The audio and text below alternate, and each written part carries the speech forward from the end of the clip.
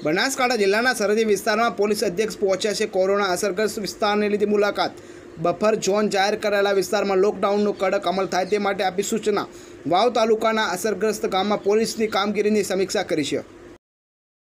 हैं जहाँ पर कि कोरोना पॉजिटिव केसेस आए हैं वो पांचों गांवों की और उसके आसपास का जो क्लस्टर क्वारंटाइन हमने किया है और जो बफर जोन बनाया है वो सबकी मैंने विज़िट ली है पुलिस के जो नाके पॉइंट्स हैं और पुलिस के जो फिक्स पॉइंट्स हैं वो चेक किए हैं पाँच गाँवों में मैंने देखा कि लॉकडाउन का अमल काफ़ी अच्छी तरह से हो रहा है। गाँव के लोग बहुत कम बाहर निकल रहे हैं। वहाँ पे जो नाके पे पुलिस वाले ड्यूटी बजा रहे थे, उनसे भी मैंने बात की। उनका भी यही कहना था कि गाँव के लोग खुद ही मतलब स्वयंभू लॉकडाउन का पालन कर रहे हैं, बिना किसी मतलब के बाहर निकलते ही नहीं हैं। इनफैक्ट शहर से ज़्यादा अच्छा परिस्थिति लॉकडाउन की हमें गाँव में लगी। और मेरी टाउन के जो लोग हैं, उनसे भी यही अपील है कि जिस हिसाब से ये गाँव में लॉकडाउन का अमल हो रहा है, उसी हिसाब से बड़े टाउन्स में भी ये अमल होना चाहिए जिससे कि रोग का संक्रमण जो है वो रोका जा सके।